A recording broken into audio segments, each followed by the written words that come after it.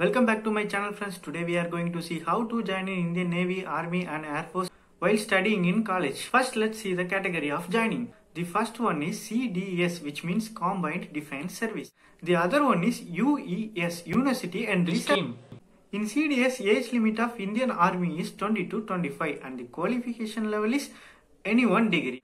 And age limit of Indian Navy is 22-23 and the, qualification is BE or BTech. Finally age limit of Indian Air Force is 22-23 and the qualification level is we have to study physics and maths in 12th standard. In UES age limit of Indian Navy and Indian Army both are same 20 to 24.